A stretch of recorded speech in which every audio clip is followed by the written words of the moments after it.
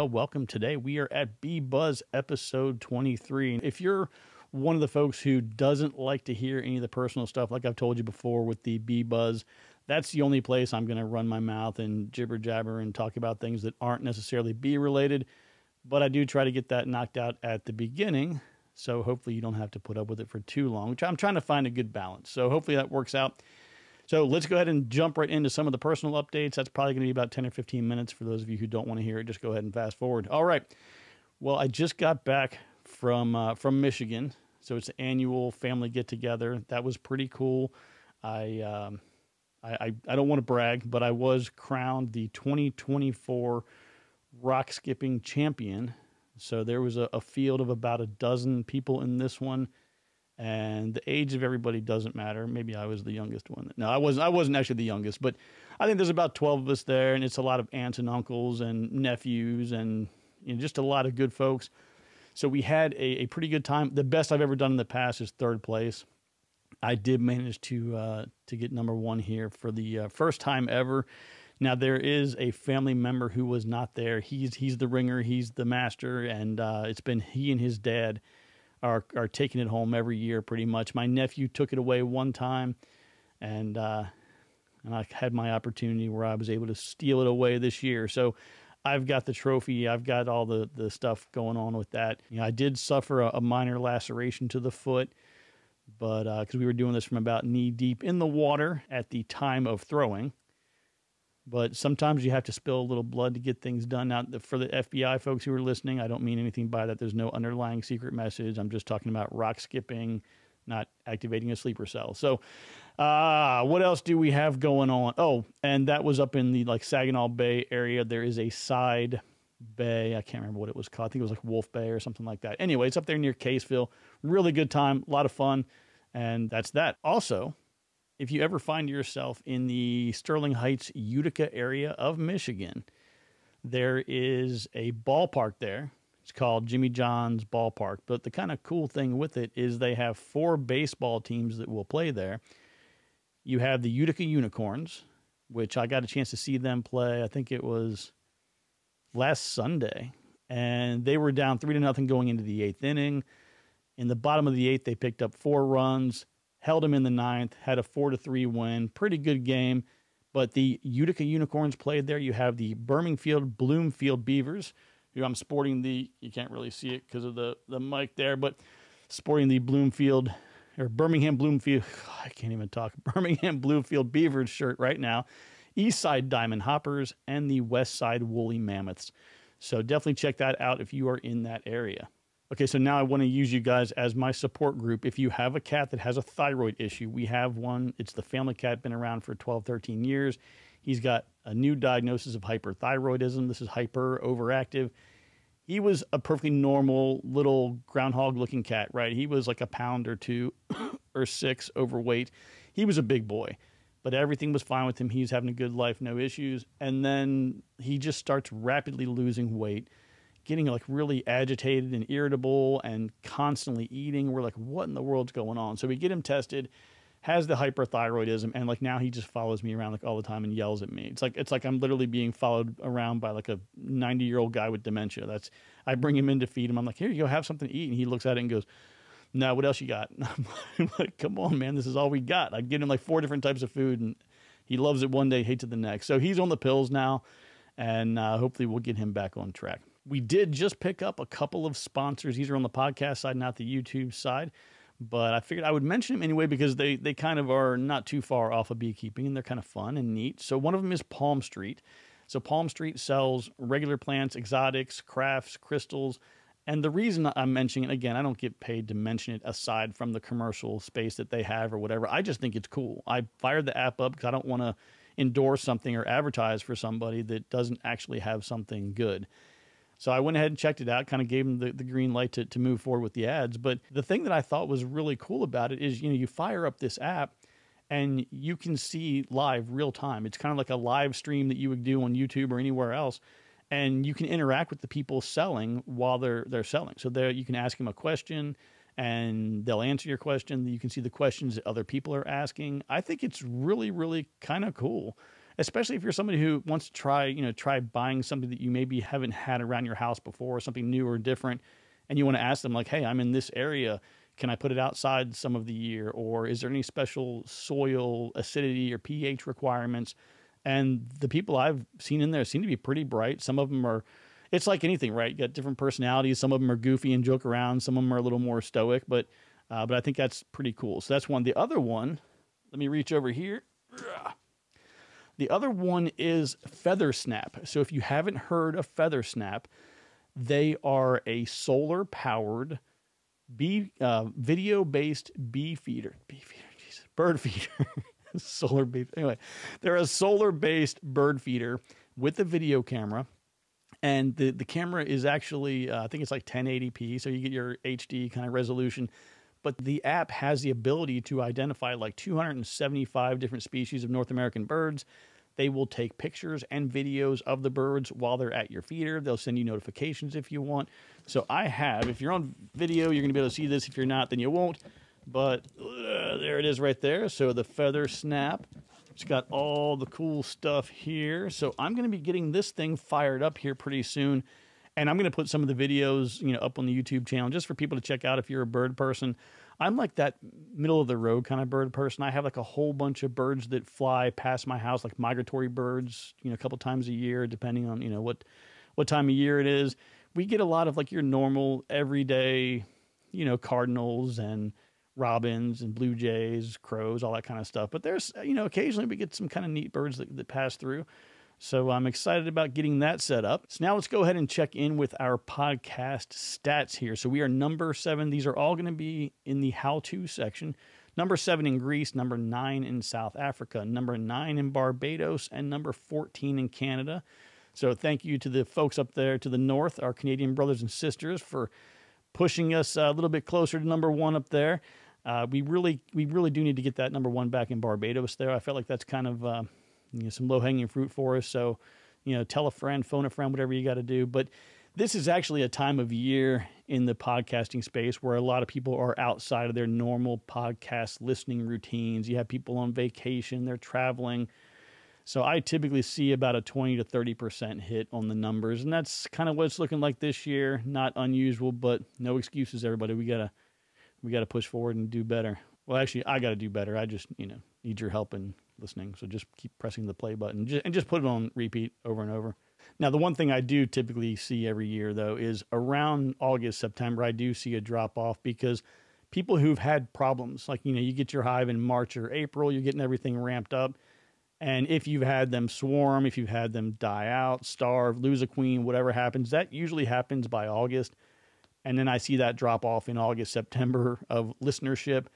And then you get around to usually like December, around December time frame, around right before Christmas, people start coming back in because they're thinking about what they want to ask for for Christmas on their beekeeping wish list for the next year, and then December, January ramps up, and then then we get a good a good spring ramp up just like the bees do. So I want to go ahead and jump into uh, just a kind of a general FYI. If you're watching YouTube, which anybody who's paying attention to beekeeping, I know that you know you're not just watching me, which is good. I don't want you to just listen to me or watch me.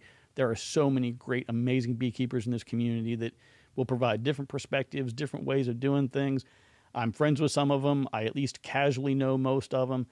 Great people out there. But there is a video I was watching the other day, and there's a guy who is again a you know real real rock star in the community in the beekeeping space. He's a super smart guy, puts out a lot of great content and I have nothing but the utmost respect for him. So this is in no way a shot or a, you know a hit or a ping or a ding. I don't know. I guess a ding against him. He was doing a video I was watching the other day, and he was doing a lot of manipulation within the within the hive. So he had everything opened up, and he decided he was pulling one frame out, wanted to move it down below Another frame was going to be taken out completely and put into a different hive. And then the other frame he took and turned it and faced a different direction. And as he's going through this, I'm thinking, like, yep, makes sense, no problem. And then I started thinking about it. You know, if you're a new beekeeper or a prospective new beekeeper, you're thinking about maybe picking it up next year, and then you see that video, you might be a little bit overwhelmed. You might think that, geez, I, there, there's way too much going on here. There's no way I'm going to be able to figure this out in my first year of beekeeping. I completely understand and I get it. What I want you to think about going into year one is just to focus on the basics. I kind of joke around about it all the time. I, I call it the Cro Magnon approach. But i have been waiting for somebody who's like a paleontologist to tell me, like, well, technically the Cro-Magnon didn't, you know. But but the the Cro-Magnon approach very simple, very straightforward. You're going to have a box. You're going to put bees in the box. Keep them dry, keep them warm, keep them mite free, and everything else will kind of find a way to figure itself out, right? I recognize it's not that simple, but it's really not that far off from there either. As you get more experience, as you continue to work with your mentor, or you're working with me, or you're working with whoever you're working with, you will develop all the skills. You'll develop it, it is literally like anything else. You know, if you're if you were a kid and you ever played like like T ball or something, right? You had the ball on the tee because they wanted you to focus on the fundamentals, you know, hit ball with stick, run to base, right? You weren't leading off. Nobody was doing lead offs in T ball. You know, you weren't really bunting. You can't bunt from, well, every hit is kind of a bunt anyway in T ball, but you start with, you build a foundation and you work your way up. And beekeeping is going to be the same way. So if you watch those videos and you're seeing a lot of complex activity taking place, don't worry about it. It's going to get better. You'll figure it out later. Just focus on the fundamentals. So I want to take a quick minute and just read a couple of emails that uh, that came to me recently from my uh, from Virginia State. I'm a member of the Virginia State Beekeeping Association. I also get some from the State Apiarist, and uh, just a couple things I wanted to read to you real quick that are FYI. Some of them are going to be only applicable if you're in Virginia. Others are going to be applicable no matter where you are. So we'll go. I got three of them here. I want to just jump in real quick and just take a couple of minutes. The first one here, late in 2023, the yellow legged hornet, YLH, Vespa velutina was found near Savannah, Georgia. This was the first record of YLH in North America. It is a common pest of honeybees in Europe and other continents where it's found. YLH colonies found near an apiary feed almost exclusively on honeybees, consuming nearly 25 pounds of biomass, workers, per nest each year. While it's not known to occur outside of Georgia and South Carolina at this time, surveys for YLH are being conducted among Atlantic coast states. Late summer and fall are ideal times to survey when YLH colonies reach a peak in population, increasing the potential capture of individuals from a nest. The Department of Agriculture and Consumer Services, VDACS, is looking for 100 apiaries to set up and monitor YLH traps. I'm not going to read the whole the whole thing for you here, but if you have an interest in this, if you are in the, this area and you want to set up a trap, if they haven't already gotten to the 100 or whatever, I'll get you the contact info. Just hit me up on the Discord room or Jeff at Beekeeping for Newbees, N E W B E E S dot com, and we'll get you the info you need for that one. Okay, so the next one is specific and unique to Virginia only. This is an email about the Beehive Distribution Program. I have applied for it, I think, two years in a row. One year I applied the last day. The next year I applied the first day. I was denied both times, so I'm tapping out. I'm not going to apply anymore. But applications for the Beehive Distribution Program will be accepted August 22nd through September 6th of 2024. When the application period opens on August 22nd, a link to the online PDF application will be available on the program webpage. Only applications received online or postmarked during the application period will be accepted for consideration. Recipients of Beehive units will be selected at random from qualifying applications. Applications submitted in a prior year will not be carried forward to this year's program. Individuals must submit an application during the application period to be considered for the random selection. Again, there is more to this. If you're interested, you have no idea about it, I think you can just Google, you know, uh, Virginia Beehive Distribution Program. If you have any trouble tracking it down, let me know. I'll get you the info. And last but not least, newly approved varroa mite controls, e.g., Amiflex, Ezox tablets, and VarroxSan. Last year, the EPA registered several new varroa mite control products like Amiflex, Ezox tablets, and VarroxSan. Each product contains oxalic acid dihydrate for controlling varroa mite populations in beehives. Amiflex is a restricted use product requiring that the user is a certified pesticide applicator. Ezox tablets allow for easier application of oxalic acid in using a vaporizer. VarroxSan is a slow release and longer acting application of oxalic acid in the honeybee colony. These products are registered with the Virginia Department of Agriculture and Consumer Services for distribution, sale, and use in Virginia. VarroxSan registration was approved last week by the Office of Pesticide Services. So that's kind of it for that. Just wanted to make that uh, make everybody aware of that. And again, that's going to be like a Virginia thing specifically, but I wanted to get that out. Okay, so let's get on to the questions here. Question number one about how many frames in the brood boxes will end up honey stores. I have three or four that are either almost fully capped on each side or at least filled with honey or nectar. So the generic answer I gave was 6 to 12. And that answer is really generic because I don't know how, you know, what was the size of the colony going into the fall flow? How rich was the fall flow? Was it a really, really uh, robust? Did the bees bring in a lot of nectar and pollen and, and did they suck away a lot of new resources? For me, what I've seen typically is the fall flow for me is about 25 to 40% of the spring flow. So it's not that much. But how much of the, the brood space actually becomes nectar, it's, it's definitely going to, or, or honey, is definitely going to vary year by year, colony by colony. You can have, you know, six colonies in the same apiary in the same place in your backyard and they all you know have different numbers just depending on their genetics and how they are. So like i said it, it could be a few it could only be a few and most of it could all be kept above and it could be kind of balanced 50-50 so it's going to be again pretty variable. The next question was when you say a frame, do you mean like a side or both sides of the frame? So whenever I say grab a frame of brood, I generally mean grab a frame that has brood on both sides. Now, even in that example, there are a lot of different ways you can go with that. So I'll, I'll explain that kind of further.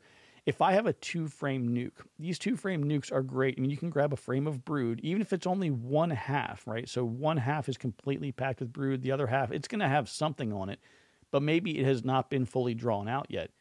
You take that and put that into a small two frame nuc with a queen cell. That is a great way to establish a new colony.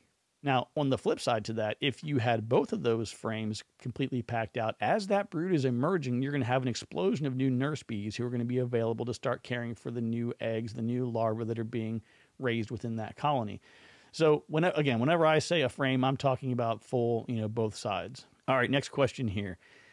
Is it possible to give the bees too much space over winter? I know they'll cluster to keep warm, but wasn't sure if too much space would give you unwanted visitors or cause any other temperature humidity issues. I have two deeps and three supers on. So the answer I gave is you really don't want too much void space. I'd say, as an example, if you had two packed deeps, two full mediums, and one partial medium, I would harvest the partial or at least pull it off and put it in the freezer. Void spaces leave room for a mouse if they can sneak in. It's more space to heat. This is kind of the bigger issue that I've seen. It's a, it's more space for the bees to heat during the winter. If you don't have enough bees to be monitoring all the resources, that opens up the possibilities for other pests to get into those resources and do some damage, sometimes completely unimpeded. So that again, like I said, that's the big issue that I've seen is just they have this huge cavity and they've got to heat the whole thing and that causes them to have to consume more resources. So you, you, really don't want to do that. They will use every space inside the hive. So when you think about you know a frame and the frame is loaded with cells they will crawl inside individual cells as part of the cluster. So they're going to make use of everything that they have. Okay next question. I've been wanting to mite check my bees but with everything still rolling hard like there's not a dearth on should i wait until the fall flow and the pollen stops? I would say absolutely not. Figure out a routine that works for you. You know, and I've I've kind of been a little bit in different um, places with this. Or I used to have kind of a schedule that I ran off of because when I was managing just a few hives, it was really easy to just kind of be on a schedule and just treat when you wanted, and just it kind of wasn't a big deal. As things grew in my apiary, and you had to be much more efficient, you had to kind of create schedules and stick to those. And it just, it was more structured. So, what I would recommend is pick something that is based on your past as you start documenting and creating your own sort of journal of everything that you're doing. So basically, if you just said, I'm going to do an inspection every month or I'm going to do a mite wash every month, and then you realize, let's say that it's May and you do a mite wash and you're at five or six per hundred, and you're like, oh wow, I need to do something about this. I, I got to go ahead and treat. So you get your treatment plan in place and you do everything. Well, when the treatment is done, you're going to want to do a mite wash again. You need to see if your treatment, if your intervention was effective. See, so the only way to know is to check again. So maybe you treated in early May, you finished all the treatments by mid mid to late May. Well, one June rolls around, let's go ahead and check again. Oh, the numbers look good. Okay, so maybe you won't have to treat in the month of June. So you check again 1 August. Uh oh, the numbers got a little out of control. You're going to treat again. So you really got to stay on top of that. And the two times a year that I think that for me that are, are the big focal points is the fall is really critically important because you're going to put those bees away for the winter and you're not going to see them again. I mean, yes, they'll be flying a little bit if you're in a warmer climate like I am, or if you're down the south, they'll be flying quite a bit throughout the winter. But in a lot of places, you put them away in September, October, you don't see them again until March, April. So you want to make sure that they go into that overwintering cluster as healthy as they can possibly be. So the fall is critically, critically important for making sure you have those mite numbers basically as close to nothing as possible. Second most important time is the spring. The colony is ramping up in the spring and they're going to be trying to get as much brood reared as they can in the shortest amount of time so that they can get as much of that forage and that nectar and that flow into their hive and get them prepped up for again in the spring they're prepping for the winter right? So you want to get them as healthy as possible in that springtime so that they can be able to be really really effective at what they got to do in the spring. Now i do have kind of another thing that's nice is we have a with our dearth there is a break in the brood cycle. So remember that varroa mites are going to reproduce inside the brood. So if you if they're not rearing any brood, if the colony is not raising any new bees, then basically the mites are just kind of hanging out waiting. And that's a great opportunity to treat them when there's no brood inside the hive. So the question came through. It says, What do you guys use to measure your oxalic acid? Now, I'm assuming, I don't remember off the top of my head, I'm assuming this was a uh, for crystallized oxalic acid to be used in a vaporizer. Now I have the um, I I can never remember the name of this thing. It's the Lores, Lores, whatever it is. It's the vaporizer. It's about four hundred and some dollars. I'll put a link to it in the description. But that has like a plunger on it, and the plunger has like a twisting thing that you can kind of screw it, and it changes the level up and down between like one and three grams. Typically, you want to do one gram per brood box. So if you have a nuc, you would do a half a gram. But when you adjust that by by screwing the plunger in or out, you can see the numbers on the side of it. And let's say, for example, you had a double deep, you just turn it until it gets the level down to the number two. That gets you two grams. I stick that thing right into the bag of oxalic acid, scoop up the crystals till it's topped off, and then right before I go to administer it, I drop it in because if you put it in ahead of time, and I completely forgot about this, I hadn't done, I hadn't used this thing in a while, and I just kind of popped it in once. I was getting ready to go do a treatment and I forgot that, of course, gravity is going to let a lot of it fall down. And as soon as I did, it starts spraying the vapor out before I was even ready. So hold that vertically with the you know the oxalic acid uh, facing up until you're ready to you know insert it into the hive and start doing your vapor treatment. But if you don't have that, I'm pretty sure, if memory serves me correctly, it's one quarter teaspoon. One quarter teaspoon is equal to one gram of oxalic acid. Okay, so the next question Good evening, everyone. I'm wanting to do an alcohol wash to do a mite check. Can someone give me an idea what I need to do? So I went ahead and posted in the Discord room three different ways that are kind of the more popular ways of doing things. I don't like two of them, but I'll go ahead and kind of explain to you what I did here. Now, on an unrelated but sort of related subject, I did a test today for a master beekeeper program I decided finally just to suck it up and just go get the certification. So there's a way to bypass the apprentice level through this one program. And I did their test. And for whatever reason, like these guys love the sticky board. They love the IPM board. So this is basically like your yard sign kind of thing, like your election signs or like your, you know, Joe's tree service, the kind of things that you see all the time. They use that type of material, but with a grid system on it. So like zero through 10 across the bottom, zero through 10 across the top. And then you can kind of count like, you know, how many mites per square inch or whatever. I have not used this in years. I tried it like the very first year. I was like, oh, cool. It comes with this little IPM board. Why not? And then I tried it and I was like, okay, well, that's some numbers that are there. It's like, okay, what do I do with this?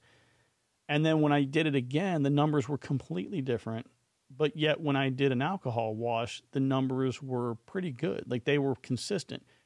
So it might be that I just completely did it the wrong way and I'm an idiot and I completely dropped the ball or whatever. But there is nothing that anybody's going to say. There's like two hills in beekeeping that I'm going to die on. There's the granulated sugar hill. Like I'm not going to put granulated sugar in a beehive. I'm not doing it. It's not going to happen. You can't convince me. and then the other one is this IPM board, sticky board kind of thing. Because what has you got to convince me of how these mites. Let's just assume you have two deeps and a medium, and let's say there's some brood in the upper medium, and you've got uh, you, you do a treatment of whatever type, and now all of a sudden you have these mites that are letting go. Right there, they've got oxalic acid is kind of crystallized on the bees, and the mites are like, I can't hold on anymore. I got to let go and now they're going to just fall all the way through all the bees and the comb and all the stuff that's there and they're going to land and then they go through the screen and then they land on this board and that's an accurate number i don't know man you're not going to convince me so if that's what you want to do by all means have at it i'm not a huge fan so the next option that a lot of people will go to is the sugar shake and the reason the sugar shake is pretty popular is because it doesn't kill the bees, right? And I'm doing air quotes here for those of you listening on the podcast. It doesn't kill the bees. Well, maybe not, but I mean, you're going to give them a concussion, brain damage, like shaking bee syndrome, because you have to shake the crap out of them, right? You're going to take this powdered sugar and you're going to put a sample of bees in the powdered sugar, shake the crap out of them and then like open it back up and you're like oh isn't it cute? The bees are still alive. Yay. And like they can't say their own name anymore and they don't know which hive they live in and and you know they're it's just i don't i'm not a big fan of that one either. Like nobody wants to kill the bees if they don't have to but you know quick fast death with alcohol wash or you know long slow brain damage death from shaking them with the sugar just just kill them you know just go ahead and do the the um, go ahead and do the mite wash with alcohol and you're done but if you want to go the sugar shake method, again, it's the same thing where you would have some kind of a strainer. You shake the sugar through and you look down and you can see, okay, there's X amount of mites that are per hundred. And then you, you, take, you, know, you take appropriate action from that. But the option I usually go with is uh, is the mite wash. So you want to get your 70% or better isopropyl alcohol, put that into a container. I just ordered some of these containers. I got them from AliExpress for like four bucks a piece, and uh, I can't remember the brand of them. I mean, it doesn't even matter. It's all pretty generic, but they're about four dollars a piece. I got like ten of them, but it's uh, essentially like a, a, a strainer. So you have a compartment that has a basket, and then as you're shaking, you know, the heck out of these bees to get the mites off, the mites will fall through, and all you'll be left with is just the dead bees in the basket, basically. So uh, this is one of those as far as how many mites you should find in that wash. It's kind of a moving target depending on who you talk to. I like to target that less than three. So if I'm at like two per hundred, I'm feeling, you know, okay, depending on the time of year.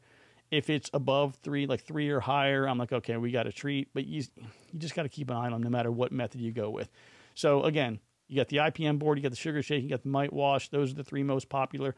After you finish an intervention, right, whether you're treating for anything, whether you're treating for nosema or you're treating for something else, whenever you do some kind of an intervention, always have a plan of how you're going to assess the effectiveness of that treatment down the road. So again, if you're treating for varroa, do a mite wash. If you're treating for something else, take some of your bees and maybe have them sent in for testing to find out, you know, if that treatment was in fact effective. And another thing to keep in mind too is again, a lot of people and I and I completely get it. I love my bees too. But a lot of people are like, oh, I don't want to kill, you know, half a cup or 300, roughly 300 bees. I don't want to kill that many of them. I feel bad about it. Just remember, a good, healthy queen is going to lay somewhere in that 1,000 to 1,500 eggs a day. So you're losing, you know, 25% of your bees, maybe, you know, 20, 25% of your bees for one day. And, you know, they're taking one for the team, right? What they're sacrificing is for the better good of the rest of the colony. So the next question I have is Do you recommend treating for Varroa and SHB, small hive beetle, at the same time? I haven't seen worms on frames, but they are present. Saw larvae in trays and then a single beetle crawling on a tray a few days later. So when they're talking about a tray, this is something that I don't use myself, but it's uh, it's kind of a cool thing. It's very common, but people will take a tray and put that beneath the like a screened bottom board. So things that fall through, you know, that would normally just end up, you know, landing on the ground outside, you can have it kind of get caught by this tray. And uh, somebody else told me about this, and I think I had heard about it years ago and forgot about it. But somebody down in Alabama recently reminded me about this. But what you can do is take diatomaceous earth, also called just generically like DE. You can put DE in that tray, and then as larvae or beetles get into that DE, it kills them and kind of takes them out. But at least having that tray down there gives you the ability to see, you know, what's coming through the screen and, and kind of give you kind of a better handle on some of what might be taking place in the hive. But to answer the question, do I recommend treating for them at the same time? Absolutely. So for hive beetle, if you're using your shbtrap.com traps or your you know oil traps or peppermint or Swiffer pads or whatever those towels are that I think I mentioned in my small hive beetle episode a couple episodes back. Whatever you're using to treat for a small hive beetle, put that in there and absolutely do your Varroa treatments at the same time. They won't impact each other. Well, folks, that is all that I have for you today. It didn't run quite as long as I thought it would, so I think we, we ran through things pretty quickly here. But, uh, you know, I would ask, you know, there's been a lot of stuff going on in the world, man. There's people rioting, there's bad weather related things. You know, you've got uh, just all kinds of stuff. So, what I would ask is, you know, just pray for the politicians and the elites in this world that they can kind of get their heads and their backsides kind of wired together here and, and hopefully, uh, do something about this quest and this thirst they have for war, man. We got to get out of the business of war because uh, it's just it's no good, and uh, you know we don't want to get into another cycle, another generation of all this crap that's been going on for a long time. So pray for those folks, and like I always say, take care of yourselves, be kind to one another, and remember, I love you, and there's nothing you can do about it. We'll talk to you soon. Take care.